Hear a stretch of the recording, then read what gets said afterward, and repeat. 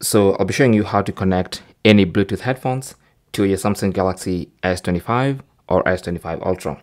So the first thing you have to do is go to the Bluetooth settings of your Galaxy S25.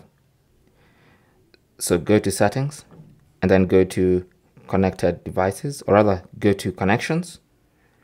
Under connections, you should see Bluetooth, tap on that. First of all, make sure Bluetooth is on, okay, using this switch. If the switch is blue, that means Bluetooth is on.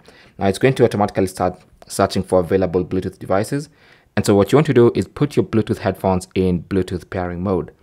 Now, depending on what type of Bluetooth headphones you have, the, the process of putting them in pairing mode might be slightly different. So you might want to find out for your version of Bluetooth headphones, how to put them in Bluetooth pairing mode. So for this ones, these are some JBL headphones. All I have to do is long press the power button that will turn them on and put them in Bluetooth pairing mode. Now, when they're in Bluetooth pairing mode and I hit scan again, it's going to scan for Bluetooth devices and as you can see, my headphones have been detected and I can tap on them and it's going to be have a pairing request, tap on pair and they're gonna get paired and connected.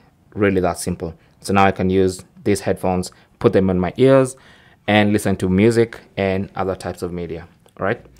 Thanks for watching. Comments and questions down below. Don't forget to like and subscribe, and good luck.